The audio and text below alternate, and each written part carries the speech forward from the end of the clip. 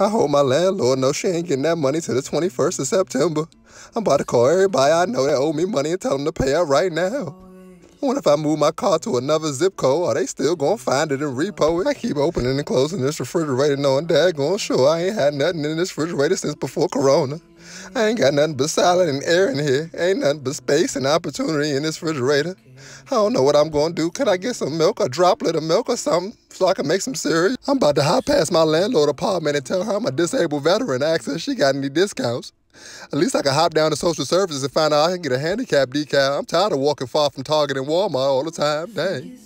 I'm just down here searching for some quarters so I can buy me some gum. Cause my breath is rocking. I ain't had no money for no toothpaste.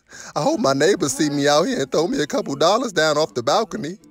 Black lives do matter, you know. Dang. Now I'm out here with this bootleg homeless man sign cause I need some rent money. Now they got me out here shaking like a stripper. I'm out here looking like P. Diddy in the 90s saying, take that, take that. I appreciate you, man, for looking my way, but I don't get paid for stares. You need to throw some ducats over here my way. I ain't paying rents with blinks. You can wave all you want, but I need rent money. Thank you, thank you, man, but bring your pocketbook over here now, please.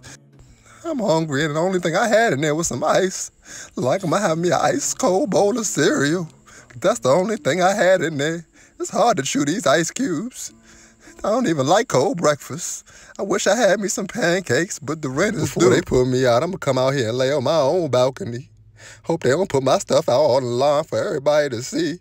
I am a man. I'ma stand on my own too. Hope these mosquitoes don't bite me. You know, these North Carolina mosquitoes, they be treacherous. I'm gonna go ahead and cover up and get me a good night's sleep and worry about all this rest of this rent stuff in the morning.